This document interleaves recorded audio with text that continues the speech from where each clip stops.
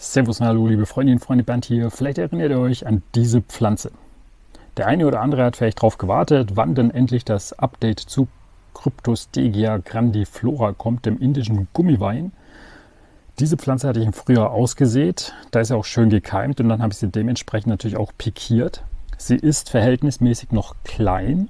Das heißt, sie hat, sie hat eine Sprosshöhe von 35 bis 40 Zentimeter.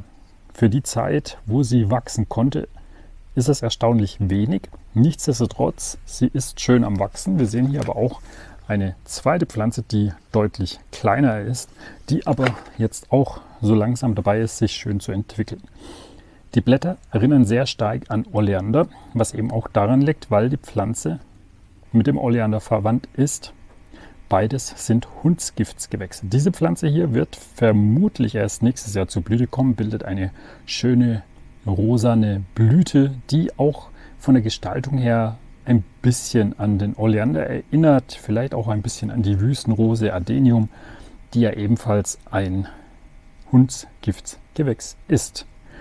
Ich dachte mir, ich muss euch jetzt nach dieser langen Zeit mal wieder die Pflanze vorstellen, denn die hat sich ganz gut entwickelt. Ich finde auch das Blatt ganz hübsch mit dieser rosanen Blattader bin gespannt, wie sie sich weiterentwickelt. Ihr seht, sie ist zweitriebig gewachsen.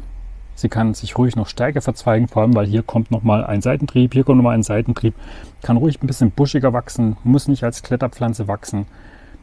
Dann kann man sie auf jeden Fall kompakter irgendwo hinstellen. Dann rankt sie auch oder rankt sie zwar auch noch, aber deutlich weniger überall rum und man kann sie dann im Winter wieder einfacher einräumen.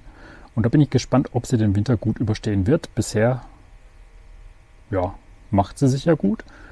Aber der Winter wird nochmal spannend. Wenn ihr weitere Fragen habt zum Thema Hundsgiftsgewechsel, dann schreibt es auch gerne hier in die Kommentare. Ansonsten Daumen hoch, Kanal abonnieren. Bis zum nächsten Video und tschüss.